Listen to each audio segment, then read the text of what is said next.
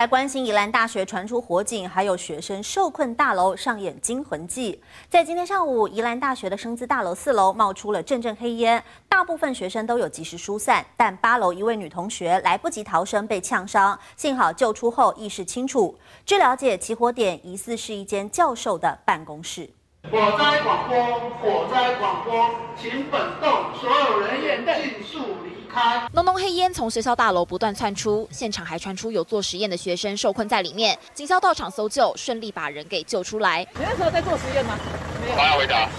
呃，实验在实验室做，我刚刚在休息。女学生获救后惊魂未定，表示自己当时待在休息室，当时大楼内的大量浓烟让她有呛伤的状况，所幸意识清楚，送医治疗。有学生通知说外面有火灾，所以我们就赶快下来。整栋都是实验室吗？还是？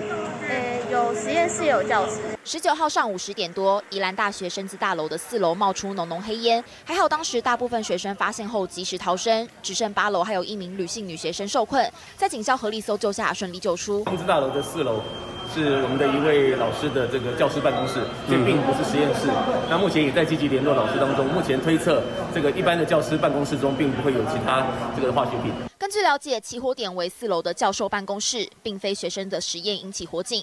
办公室的教授最后一次进去是星期四的晚上。至于详细的起火原因，还有待进一步厘清。记者依兰综合报道。